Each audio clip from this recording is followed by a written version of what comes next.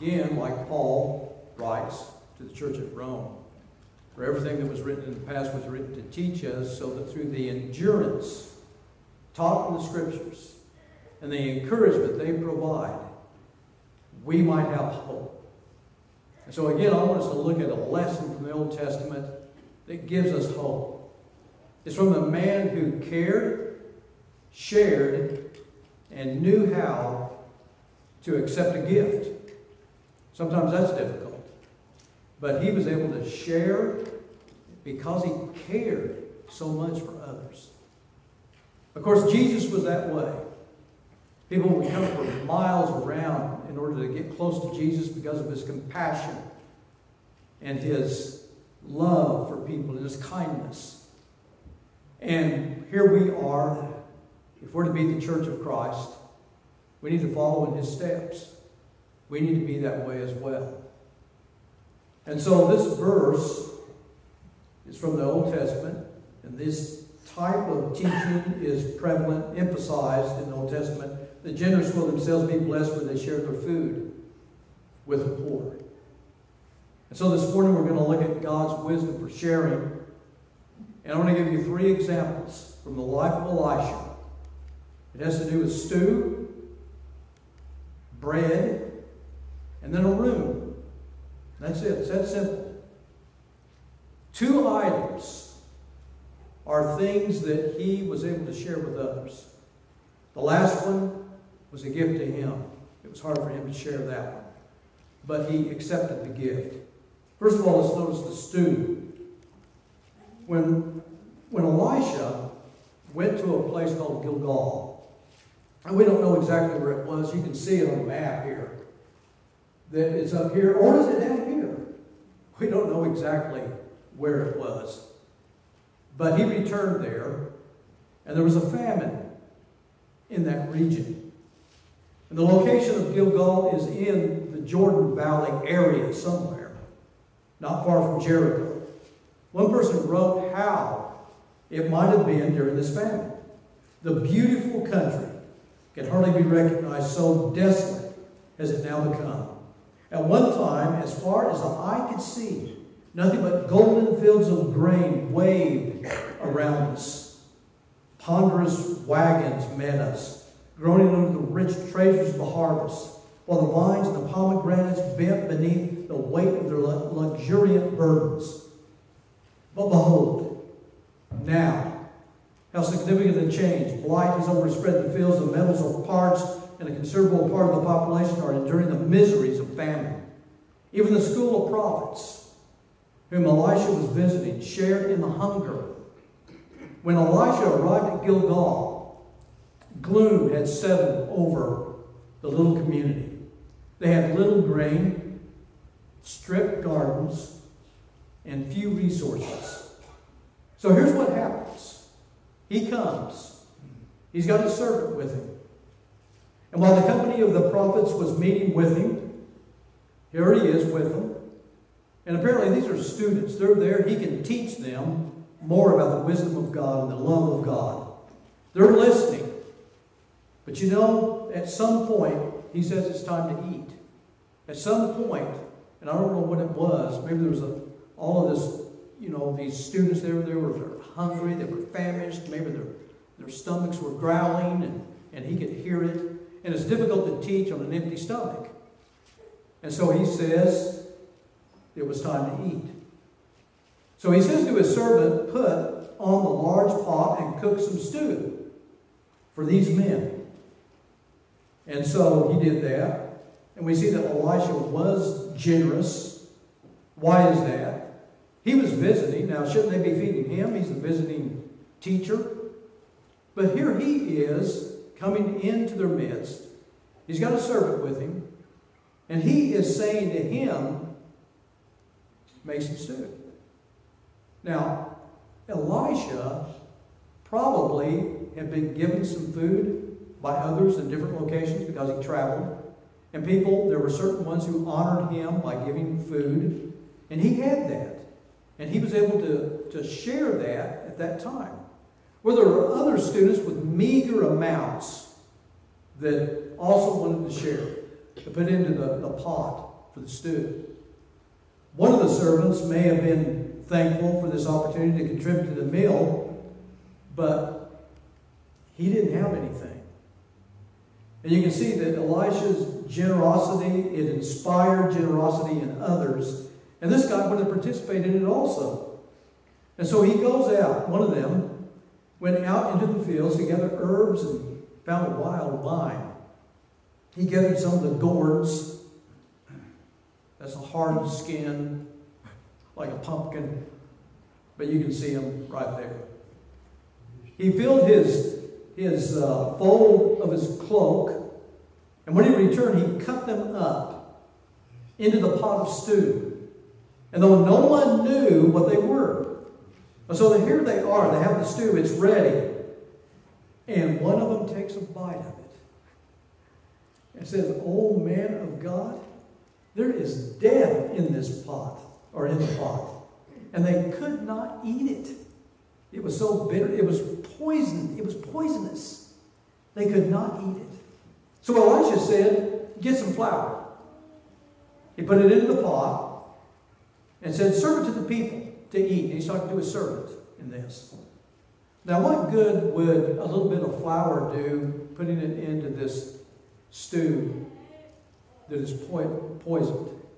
The flour would take it out. Is that what would happen? I doubt it.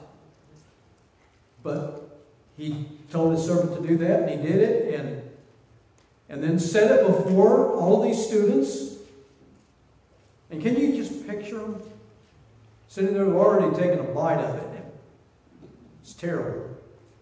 So one might have frowned, took a bite, gulped. But as he's gulping, as he, as he has it in his mouth, he discovers it's delicious. And it, it came from God. That's the reason. It was probably the best stew he had ever tasted. And why is that? Because it came from God. In fact, God is blessing them for being generous.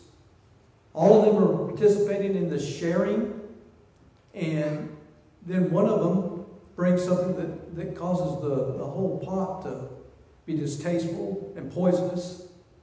And he's even going to prevent their sharing from coming to fruition. Elisha said, Get some flour. He put it in the pot and said, Serve to the people to eat and there was nothing harmful in the pot. God did not negate even the student's wayward efforts to give. The student was inspired to give. He wanted to help, and the Lord graciously accepted his help, even though it wasn't perfect. His motivation started with Elijah and his generosity in providing the stew for them. And God used Elijah to motivate generosity in the students. So we can see Elisha was generous, and Elisha's generosity inspired generosity in others. The same thing can happen today. There was a person, this was his house, his name's Leonard, 75 years old, he's sitting on the front porch. There's one guy that walks by that house every day to go to meet some other guys to, to work for the Union Pacific Railroad.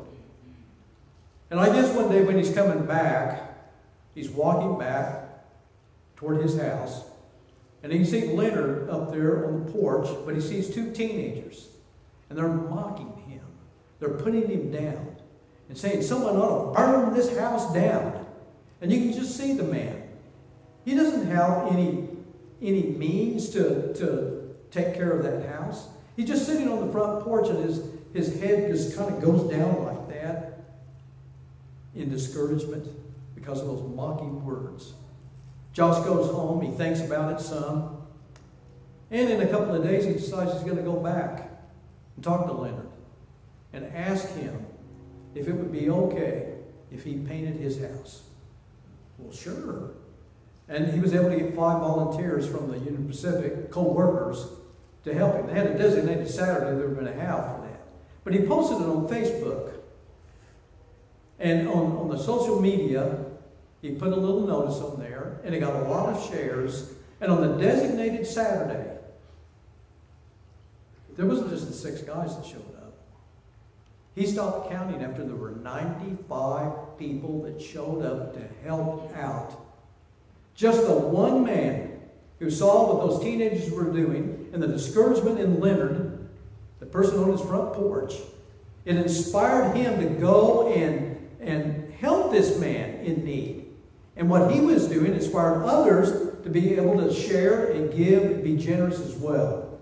And so, do you think Leonard's going to be ashamed of his house now?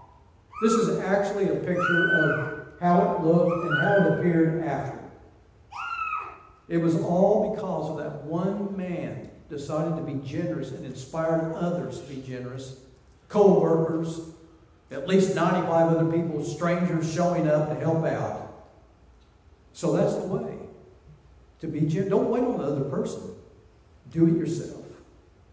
We also see bread in this. Now, again, a man from another location he came to Elisha. He was bringing 20 loaves of barley bread baked from the first ripe grain, along with some heads of, of grain. And usually the first fruits would go to a priest, but there were few priests in the northern tribes of Israel. And they looked upon Elijah as the representative of God, as he was a priest, he was a prophet. This man wanted to bring it to him and offer his first fruits to him. And so what did, what did he do? He accepted it. He took those 20 loaves, which represented a generous, genuine sacrifice on the part of this man, and they were evidence of the man's devotion to the Lord and his respect for Elisha. So then we see that here is Elisha's compassion coming through again, and his generosity. This food was given to him, and he could have accepted it and kept it for himself, him, he and his servant, and it might have lasted a few days, but he still had these hungry guys in front of him. What was he to do? And so he said to his servant, Give it to the people to eat. And can you imagine this guy looking at all these guys in these small little loaves? They're probably not, I don't know how big well, so does that look big? What looks big on the screen? But he's told to share this with all of these men who are there. Elisha had an attitude of stewardship, not ownership, because he knew all things are God's, not ours. Psalm 24 says, The earth is the Lord's and everything in it, the world and all who live in it. The Lord's brother wrote this he said, Every good and perfect gift is from above, coming down from the Father of the heavenly lights, who does not change like shifting shadows. So he said, Give to the people. Well, the servant was skeptical. And he may have reasoned, you know, I couldn't feed a hundred men with 20 tiny loaves, so why even try? And that kind of reasoning seems to make sense, but there's a weakness in it. And the weakness is that he had just fed a hundred men from one stew. A hundred men. All of these men have been fed and filled. How can I set this before a hundred men? His servant, as he asked. But Elisha answered, Give it to the people to eat, for this is what the Lord says. They will eat and have some left over. Then he set it before them, and they ate and had some left over according to the word of the Lord. And so we look at this and we see that when God gives directions to do certain things, even when they don't make sense, let's do them anyway. Let's don't doubt, like that servant did there. Good comes from trusting in God. There's a proverb that says that whoever gives heed to instruction prospers. And sometimes this word prosper means health to a person. Whoever gives heed to instruction prospers. But what does it mean to trust in God? And blessed is the one who trusts in the Lord. Well, follow what he says to do. That's trusting in the Lord. That's what that proverb says there. So on this occasion, God demonstrated his care and his generosity through the man who gave the loaves to Elisha. And then through the generosity of Elisha, God's love continued to him. And so blessings came from all of that. When we practice God's word, blessings come. Blessed is the man who gains wisdom, the man who finds understanding. For she is more profitable than silver, and yields better returns than gold. She is more precious than rubies. Nothing you desire can compare with her. Long life is in her right hand, and in her left hand are riches and honor. Her ways are pleasant ways, and all her paths are peace. She is a tree of life to those who embrace her. Those who lay hold of her will be blessed. And that's all from Proverbs chapter 3. And you look later in the chapter, and it says, Do not withhold good from those who deserve it when it's in your power to act. Do not say to your neighbor, Come back later, I'll give it tomorrow, when you now have it with you. We are to be generous and to be helpful to others. And so there's the importance of sharing. We see it throughout Scripture. Command them to do good, to be rich in good deeds, and to be generous and willing to share. And do not forget to do good and to share with others. For with such sacrifices, God is pleased. Paul also says, Be imitators of me as I am of Christ. And what do we see Christ doing? We find that whenever we take opportunities, when we see opportunities to share, wonderful things happen. Opportunity to express our love for others in small, practical ways, and they're blessed and we're blessed as well. Jesus specialized in small, menial ways to help people, like washing dirty feet. He got up from the meal, took off his outer clothing, and wrapped a towel around his waist.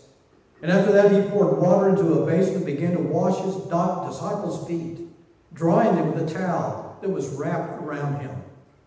And then, after washing all their feet, he said, A new commandment that I give to you that you love one another, even as I have loved you, that you also love one another.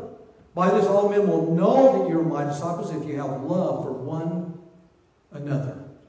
And that's what Jesus demonstrated by washing dirty feet. We also see that he cooked breakfast for his disciples. On the shore of the Sea of Galilee, he was cooking breakfast. They didn't realize it. They were out there fishing.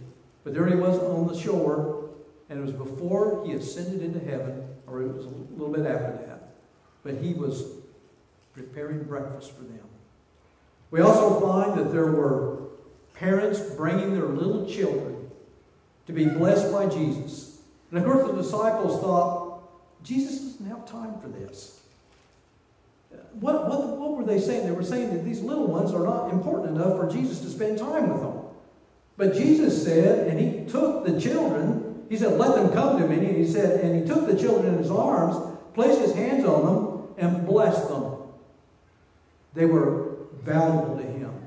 He loved them. He blessed them. And he took the time for those little children. And he even helped those that no one else would help, like lepers. There was one leper that came up to him and on occasion he said, If you're willing, you can make me clean. And Jesus put his hand on his shoulder and said, Be willing. I am willing. Be clean. And he was cleansed. So this proverb says that whoever is kind to the poor lends to the Lord. And he will reward them for what they have done.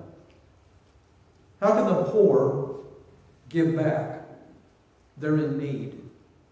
They can't. Whoever is kind to the poor lends to the Lord. Think of it. They're the Lord's creation.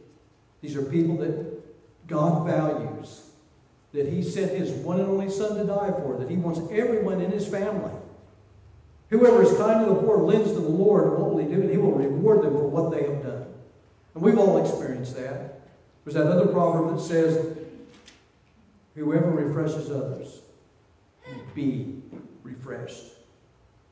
And so, here we have the generous will themselves be blessed when they share their food with the poor.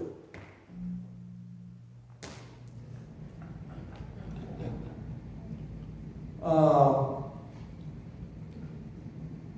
what just happened? Something blue.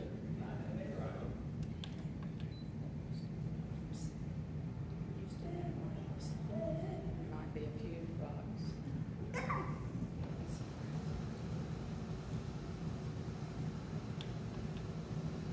That just blew up my my projector, I think.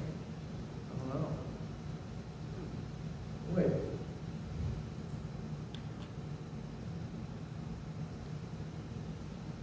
I'm continuing. Look at me. Jesus said this. See how the flowers of the field grow? They do not labor or spin, yet I tell you not that not even Solomon in all his splendor was dressed like one of these. If that is how God clothes the grass of the field, which is here today and tomorrow is thrown into the fire, will he not much more clothe you, O you of little faith? So do not worry about saying, What shall we eat, or what shall we drink, or what shall we wear? For the pagans run after all these things, and your heavenly Father knows you need them. And then he says, But seek first his kingdom and his righteousness, and all these things will be given to you as well. Well, how did that happen?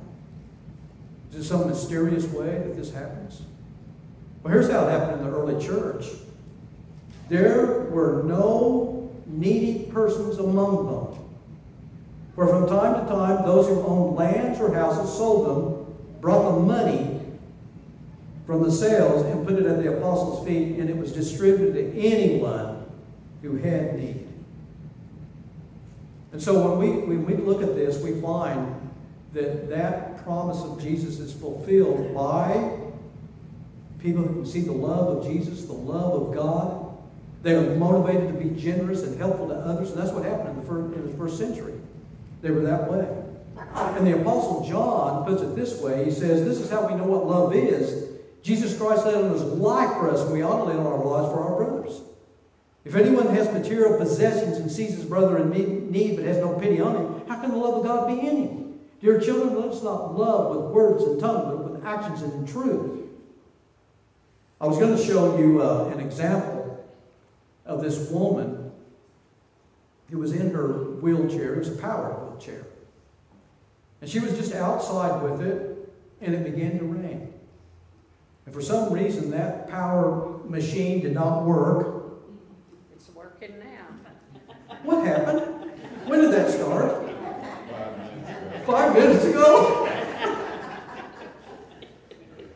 Oh, wow. Anyway, it works. And that worked too because four guys came up to her and started pushing, and they were using an umbrella to try, to cover her, and they got her out from the rain. They were helping her in that way. They were being generous, they were being kind, they were being helpful. Now, think about Elisha. Did he miss any meals? Did he go hungry because he was generous and helpful to others? There's no evidence of that. He helped. The way to share much is to share a little each day. That's a good way to do it. It kind of adds up. One person wrote, I shovel out blessings to others, and God shovels the blessings in, and He's got a bigger shovel than I do. So Jesus says, Give, and it will be given to you.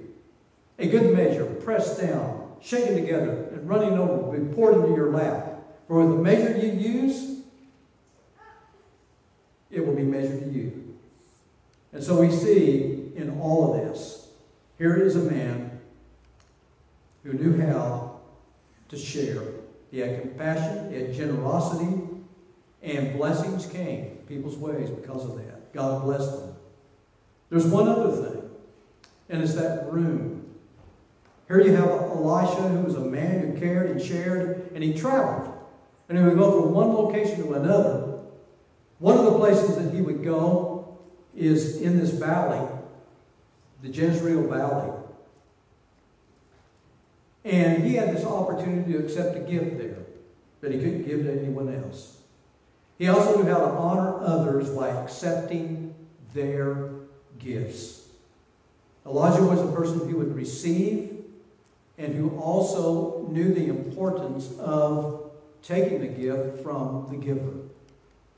And so we have him in this area.